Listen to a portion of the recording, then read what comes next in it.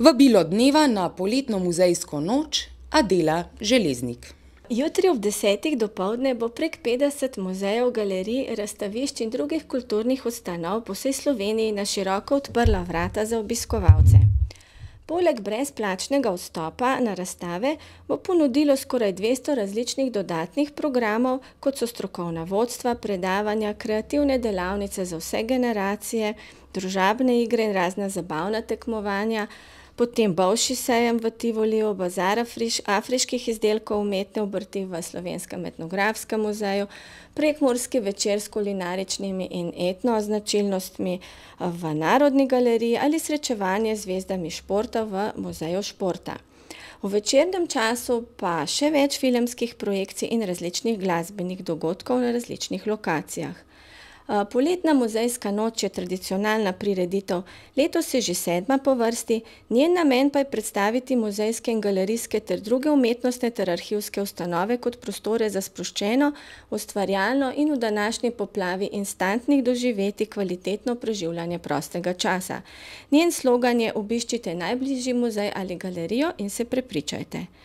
V akciji poleg Ljubljane sodelujejo še Bohinj, Celje, Hoče, Jesenice, Kamnik, Kočevje, Koper, Kranj, Maribor, Metlika, Murska Sobota, Novo mesto, Piran, Pivka s parkom vojaške zgodovine, Polhov Gradec, Škocjan, Škofja Loka in Velenje.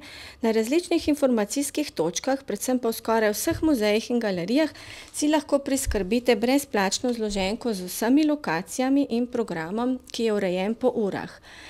Letošnja posebnost je, da imajo tudi nekatere posamezne inštitucije svoje programe, z namenom seveda, da da je, da da so ti, da so njihove prireditve v čim bolj, praktični in, priročni obliki, to so recimo Mestni muzej v Ljubljani ali Medobčinski muzej Kamnik.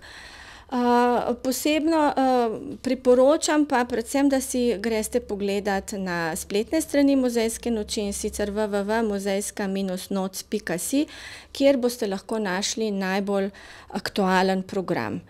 Prepričana sem, da boste v množici vseh teh prireditev, od katerih sem nekatere naštela, našli, zanimiv in poučen itinerar recimo tudi zate, zase. Upam pa, da napovedano slabo vreme ne bo ovira za obisk najbližjega muzeja ali galerije oziroma za izlet v prestolnico, kjer bo na to, na ta dan oziroma noč odprtih preko trideset muzejev, do polnoči in še čez.